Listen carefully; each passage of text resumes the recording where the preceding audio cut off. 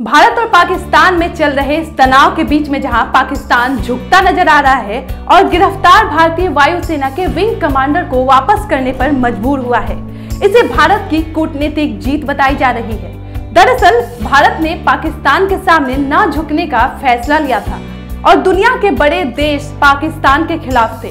वहीं भारतीय लोग अभिनंदन के स्वागत और सम्मान में नारेबाजी करते नज़र आए। लेकिन इसी बीच विदेशी मीडिया समूह ने वर्धमान का अपमान करते हुए उन्हें पाकिस्तानी झंडे के साथ दिखाया। दरअसल, समाचार एजेंसी बीबीसी ने भारतीय विंग कमांडर अभिनंदन को लेकर प्रधानमंत्री नरेंद्र मोदी पर कटाक्ष करते हुए एक कार्टून बनाया। इस कार्टून में एक तरफ़ विंग कमांडर अभिनंदन है तो दूसरी तरफ़ पीएम मोदी। मोदी के पीछे बीजेपी का झंडा लगा है और लिखा है प्रधान सेवक। जबकि अभिनंदन के पीछे पाकिस्तान का झंडा लगा है। और लिखा है सेवक। इस कार्टून के बाद बीबीसी की लोगों ने खूब आलोचना की है।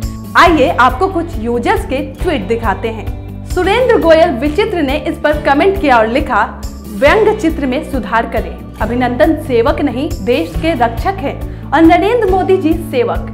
ऐसे नाजुक मौके पर देशवासियों की भावनाओं को आहत नहीं करें।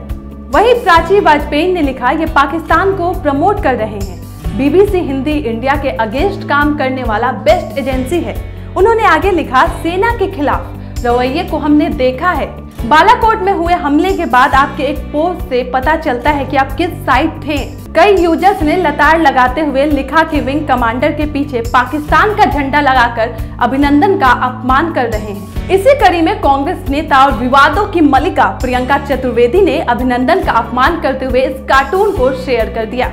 इसको लेकर बीजेपी के प्रवक्ता संबित पात्रा ने कहा कि कांग्रेस पार्टी पाकिस्तानी झंडे और इमरान खान का प्रचार प्रसार करने में व्यस्त है। प्रियंका चतुर्वेदी पहले भी ऐसे ट्वीट कर चुकी हैं।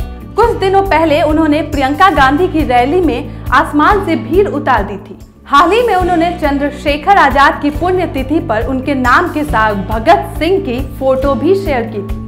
प्रियंका चतुर्वेदी द्वारा भारतीय विंग कमांडर का अपमान किए जाने के बाद लोगों ने उनकी जमकर क्लास लगाई।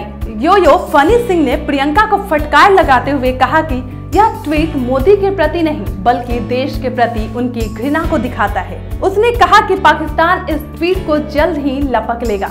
ज्ञात हो कि हाल ही में पाकिस्तान ने राहुल गांधी सहित अन्य विपक्षी नेताओं द्वारा मोदी के खिलाफ दिए गए बयान का अपने पक्ष में इस्तेमाल किया था। संदेश नायक नामक यूज़र ने लिखा, पाकिस्तान के झंडे के साथ हमारे वीर जवान पायलट को प्रदर्शित ना करें। आपकी सरकार में इतनी शक्ति ना थी कि अभिनंदन की रिहाई करा लेती। प्रियंका शर्मा नाम की यूज़र्स लिखती हैं, ऐसी घटिया राजनीति की उम्मीद ना थी आपसे चतुर्वेदी जी। अगर आप हमें फेसबुक पर देख रहे हैं तो फॉलो करें और सी फ़र्स्ट करें और अगर यूट्यूब पे देख रहे हैं तो सब्सक्राइब करें और बेल आइकन दबा